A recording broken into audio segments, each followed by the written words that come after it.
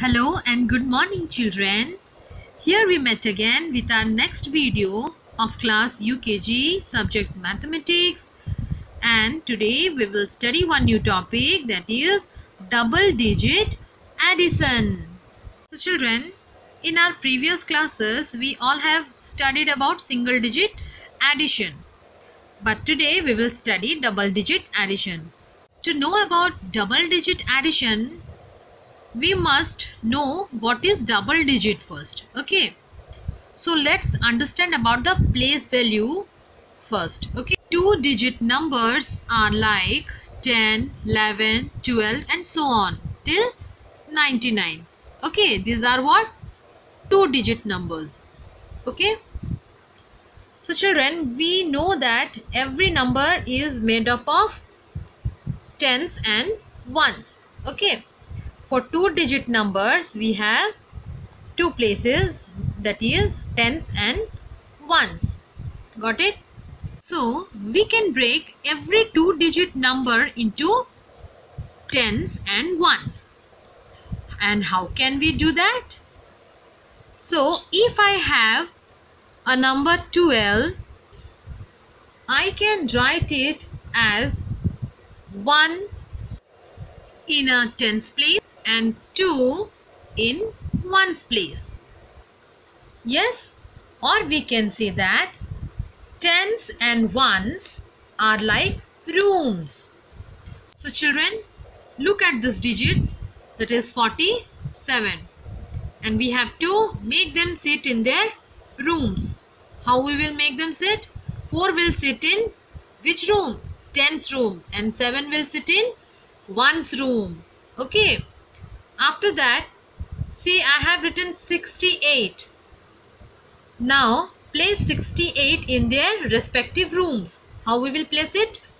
6 will sit in 10's room and 8 will sit in 1's room. Understood? Now let's see the next number that is 95 here also we will do the same thing. 9 will sit in the 10's room and 5 will sit in the 1's room. Now all of you understood the place value of two digits. Now let's practice some examples. Okay.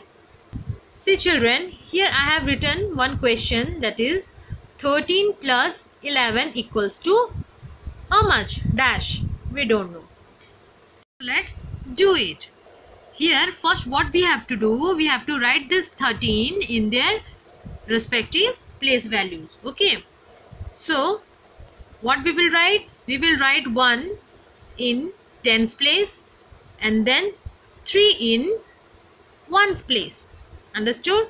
Then after what symbol is there? Plus symbol. We will give plus symbol. And after that what number is there? 11 how we will write? 1 in tens place. And the next one we will write in ones place understood like this we have to first place them in their respective rooms. Okay after that we will calculate. So children always always remember that we need to add the digits in the ones room first. Okay we will never add the digits in the tens room first. Understood? So here first we will calculate 3 plus 1 let first number it is 3. Let's draw 3 lines. 1, 2 and 3. After 3 which number is there? 1. So let's draw one line only. Okay.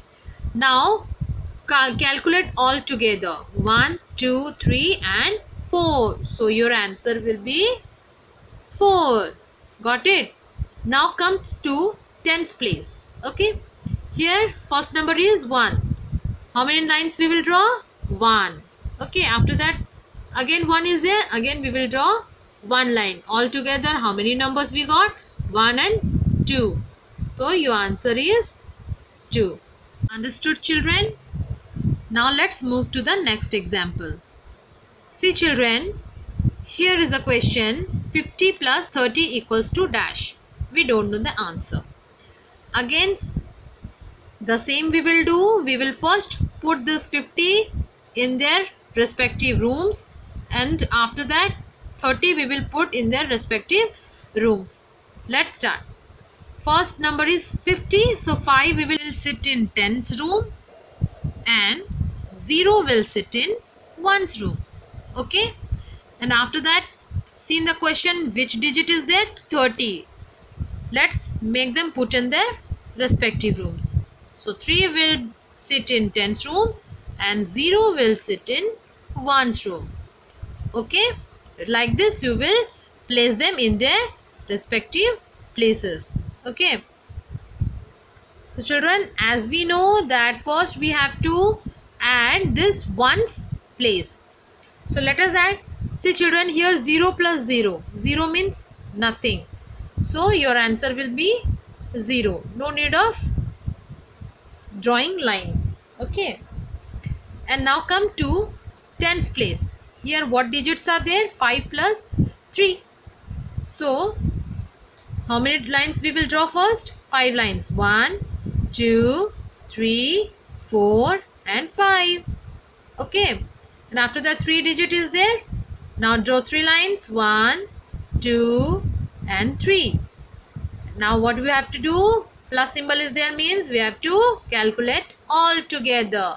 Now calculate. 1, 2, 3, 4, 5, 6, 7 and 8. So how many number you got? 8 so your answer is 8 okay? Let's move toward the exercise part. See children here is the exercise. Add the following. Here six questions i have given and also i have solved the questions also by drawing lines. So your work is to write this exercise in your copy. The exact thing you have to do with by drawing lines as I have done. Okay? Now your homework is to write the exercise in your maths copy. So children we will meet again with our next video with some new topic. Okay till then thank you and have a great day